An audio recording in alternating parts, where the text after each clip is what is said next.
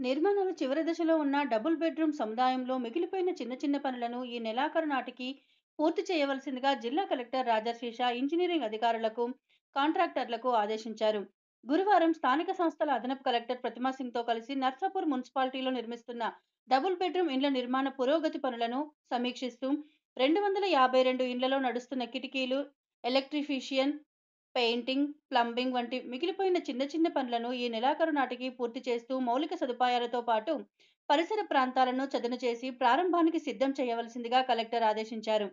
ఈ కార్యక్రమంలో Panchayati Raj EE Satyanarayana Reddy municipal commissioner Venkatagopal తహసీల్దార్ Anjaneyulu MPDO కాంట్రాక్టర్లు తదితరులు పాల్గొన్నారు.